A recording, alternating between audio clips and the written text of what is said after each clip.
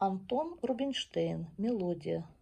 Исполнение на первой презентации с сольфеджированием.